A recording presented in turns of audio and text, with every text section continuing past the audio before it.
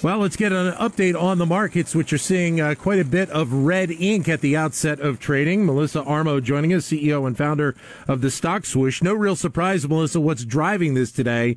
Uh, obviously, it's I think it's one of the first times in a little while we have seen a global event have an impact on Wall Street. Definitely. The market has been pretty peaceful the last few weeks. I mean, we had such a nice rally in December. I mean, we had very few red days. So we, we were down this morning, but we're making a comeback here. So I really, when I saw the gap down in the market this morning where we were opening, we were rallying even before we opened at 930. And I, I really don't think the market is going to have a hard sell off today. I wouldn't be surprised even if we were higher into next week. I mean, the market's so strong. But this is the volatility like we were discussing yesterday that is going to happen this year in 2020. So then oil prices will probably be something that will be on watch today. Well, oil was rallying this morning, was up this morning, and now it's that's turned around in the opposite direction. Now oil is falling.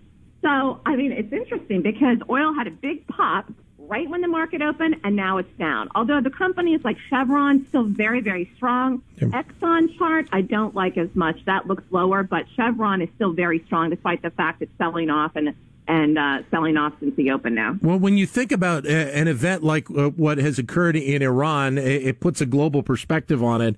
And there are a variety of different business sectors that could potentially be impacted by something like this airline, shipping, etc. You follow the airline sector. What are we seeing there, at least in the early going, with those companies? Airlines are down today. Yeah, I mean, JetBlue is down. Uh, United is down. In fact, United it really looks a lot lower. And you know what? If if there is a strike back, God knows what could happen, and there could be more volatility. I'm not saying it happens in the next few days, but that's what they're threatening now. So it's it's a very precarious situation, I believe, especially with the with the nuclear um, situation in Iran. Yep. And I can tell you, living in New York, I'm sure they are on high alert, high alert here right now in the city at every major airport. Newark, JFK, and LaGuardia are on high alert today. All right, let's switch gears. Uh, Tesla coming out with some news earlier today. Uh, they surpassed their targets for deliveries for the fourth quarter. Uh, they made their target for the year, uh, and they also said that they were cutting the price of the Model 3 in China because of subsidies that they were giving. So give us a, a kind of an overview of Tesla as we start 2020 right now. Wow, what a comeback Tesla has had. Tesla hit brand new all-time highs today. Despite the market having opened down, Tesla opened up. Tesla ran over 450 today. And remember, a couple of months ago, I mean, actually 2019 was a rough year for the stock because of all of the things that were going on with Elon Musk. The stock has had a tremendous comeback since late October and is right now stronger than the market today, stronger than the market even in the last few days. So I think the subsidies from, from China ha- are going to help the stock. Clearly, you're seeing that the reaction today. This stock could even run right up to 500.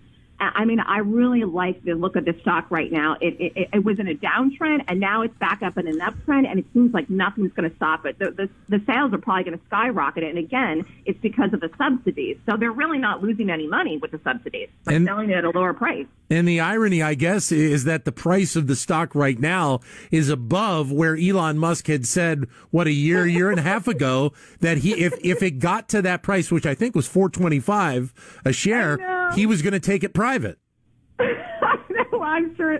I mean, he probably was like, sure, you know, with the last couple months of trading. But isn't it interesting? Again, the impact that social media has on the market, whether it's a tweet from the president or a tweet from a CEO, it, it is incredible the times that we live in right now. Melissa, thanks very much for your time. Melissa Armo, CEO and founder of the Stock Swoosh.